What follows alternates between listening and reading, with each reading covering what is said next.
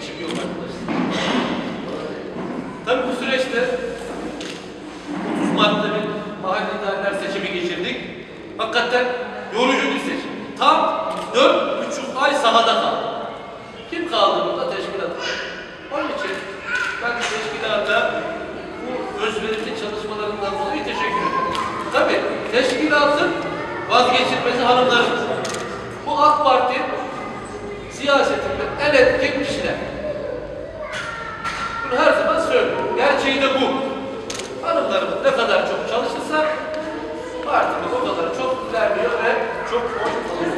Saraya çıktığım zaman 30 Mart öncesinde hanımlarımızdan çok büyük destek gördüm. Buradan kendilerine sizlerin huzurunda çok teşekkür ediyorum. Özellikle bu çat kapı dediğimiz çalışma sistemimiz var.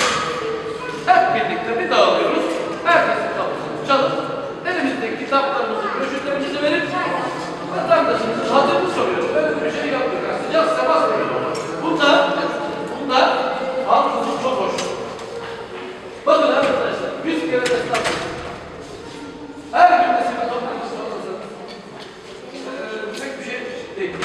Açık söylüyorum. Ama Elvan vatandaşın kapısını çalıpsa kardeşim ben geldim. Var mı bir ihtiyacın dediği zaman en bir şey bu. Onu da en iyi kişiler kadın teşkilatı. Kadın kolları. Gerçi bunu çok iyi yapıyorlar. Yaptığını görüyoruz. Özellikle dosyamızda çok büyük bir başarı etti. elde etti AK Parti. İnşallah bundan sonra da devam edeceğini düşünüyorum. Tabii milletvekili adaylarımız birbirinden değerli.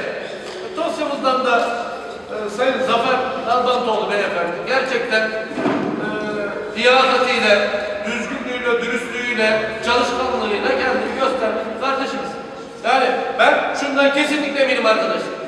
Biz bu sene 3-0 yap, yapacağız. Yapmak zorundayız veya yapmalıyız. Bunun da tek yolu çalışmak. Mevcuda bir şeyler koymak. Nasıl koyarız mevcuda? İnanın vatandaşın kapısını çalarak koyarız. Yani o kapıyı çalıp onun elini sıkmadan zor.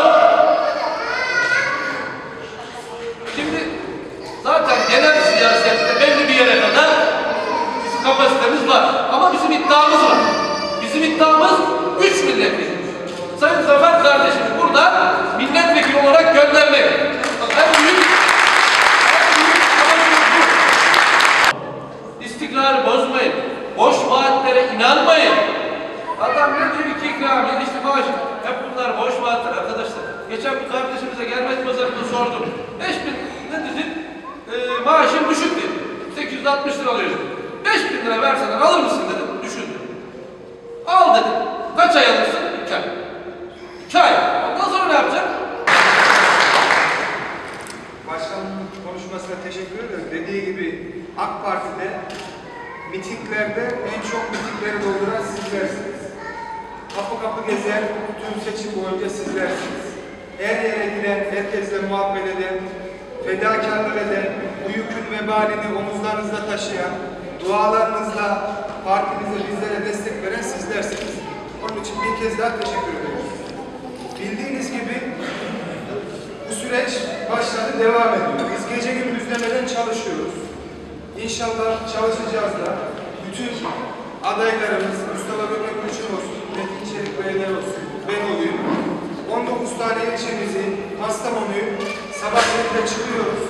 Gece 12'lere kadar çalışıyoruz. Dün mesela 1.30-2'de gittik. Bu özveriyle sizler için, geleceğimiz için, çocuklarımız, torunlarımız için çalışıyoruz. Çünkü biliyorsunuz ki artık bu sadece genel seçimden çıktı. Türkiye'nin gelecek yarınlarının seçimi oldu. Çocuklarımızın, torunlarımızın seçimi oldu. Bir tarafta AK Parti var, diğer tarafta diğerleri var.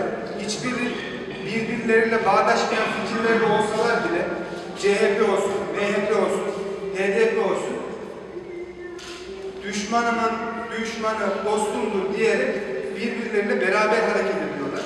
Miting her seçim döneminde bizim miting biraz sıkıntıya soktu. İşte kalabalık mı olacak, nasıl olacak, iyi mi geçecek, kötü mü geçecek ama hamdolsun yüzümüz al.